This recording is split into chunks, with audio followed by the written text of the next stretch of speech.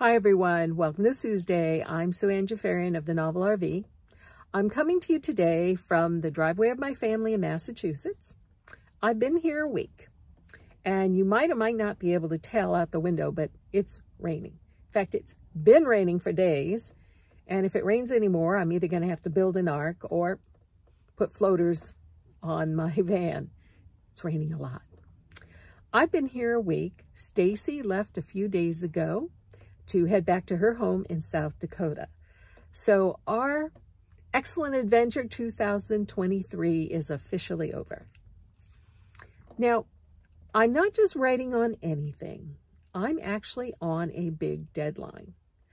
I started writing really hard and furious while we were on our trip, oh, about a month or so ago. You see, I've been writing a travel book for a few years, but for the last couple of years, the proposal has been floated around by my agent to various uh, publishers. And we weren't having a whole lot of luck. And then out of nowhere, two publishers were interested in it. They saw the proposal. Now they want to see the finished product.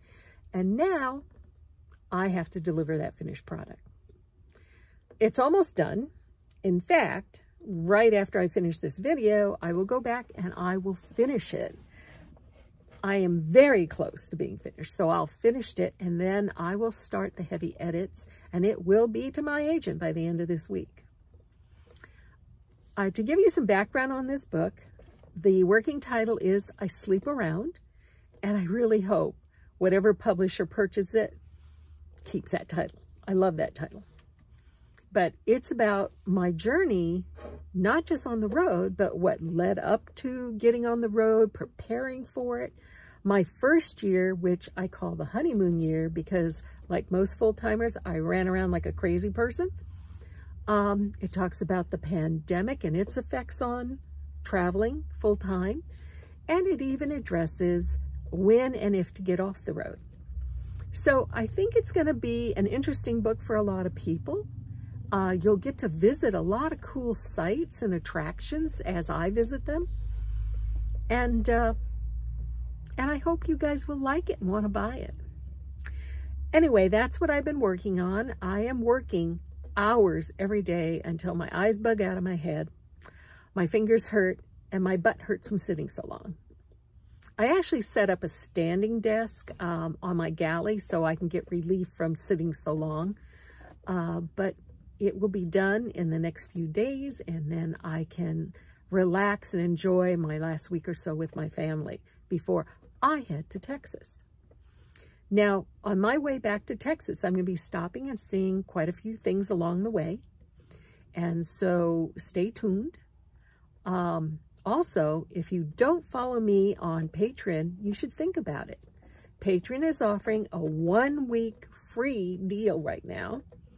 I don't know how long they're going to offer that. They've been offering it for a few weeks. But if you sign up at the lowest level, you get it for free for one week, and then you can decide if you want to stay or not.